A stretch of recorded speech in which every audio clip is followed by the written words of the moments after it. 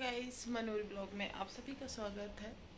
और सभी को हैप्पी वाली गुड मॉर्निंग सभी। आ गया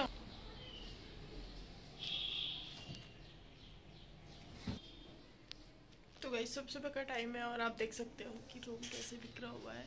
अभी थोड़ा सा इसे ठीक करने वाले हैं क्योंकि झाड़ू भी निकाल काम वैसे तो काम वाली आती है झाड़ू निकालने के लिए, पर वो लेट आती है, इस वजह से हम अपना रूम में खुद ही कर लेते हैं। झाड़ू वगैरह निकाल देते हैं, खुद ही पोछा लगा देते हैं। तो क्योंकि सुबह सुबह तो ऐसे भी काम वाम कर लेना चाहिए थोड़ा सा तो हम अपना रूम का कर लेते हैं सब। तो ये देखो, नहीं तो सब कुछ अभी बिखरा हुआ पड़ा है।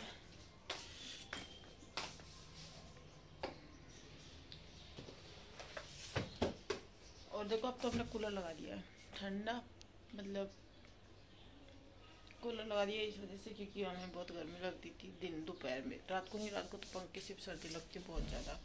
तो अब चलते हैं ठीक है बाहर का व्यू दिखाते हैं आप सभी को।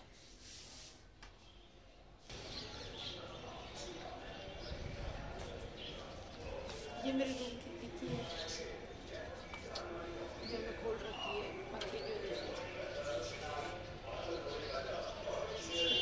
तो बैक कैमरे से आपको बाहर का दिखाते कैसा है।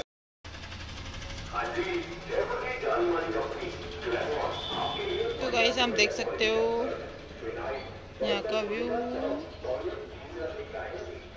अच्छा है ना और ये आंटी जी का घर का व्यू मतलब आंटी जी के पीजी का व्यू अच्छा है। और ये सब में रूम है लड़कियाँ रहती हैं सब।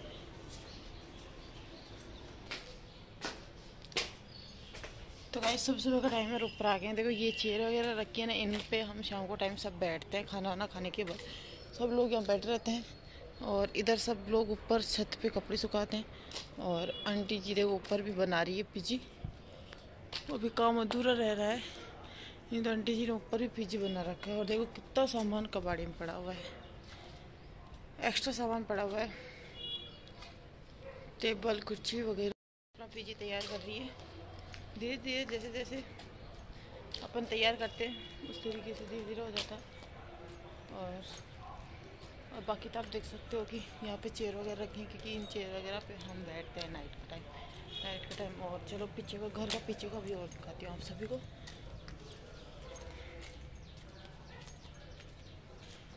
ये आप देख सकते हो पीछे का भी बहुत धूप है, और सुबह आठ बजे ही धूप है।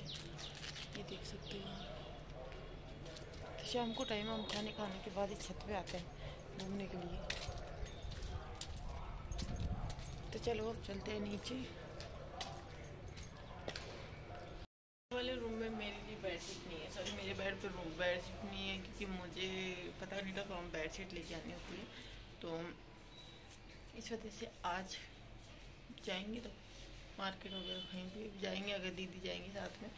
तो उनके साथ जाएँगे तो मैं अपनी बेड शीट ज़रूर लेके आऊँगी। और ये दीदी का है जो मेरे साथ रहती है, उनका बेड है, ये मेरा है। सो उनका तकिया कवर तो उन्होंने मुझे दे दिया था।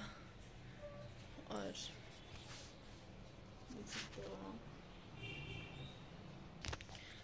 तो गाइस ये ब्लॉग छोटा सा आपको रूम का शेयर किया हमने, और अगर आपको वीडियो अच्छी लगी तो लाइक, शेयर, कमेंट ज़रूर करना चैनल सब्सक्राइब। और अगला ब्लॉग बहुत ही अच्छा आने वाला है क्योंकि हम जाने वाले हैं आज बाहर कहीं पे।